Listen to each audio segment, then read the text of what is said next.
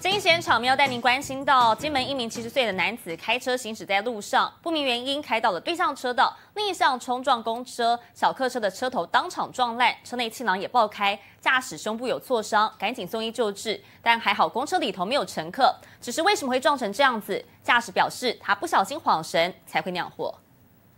公车缓慢起步向前开，远远看到一辆车直直冲过来，驾驶马上减速停车，不过对方还是。直接一面撞上，根本没减速，撞击力道有够大，引擎盖隆起，车头撞烂，瞬间冒出烟雾粉尘，车内安全气囊也全部爆开。公车司机整个吓傻，意外发生在十一号早上九点多，金门环岛南路一段，小客车逆向撞公车，怎么会这样？七十岁驾驶下车，自称是一时恍神才会撞上。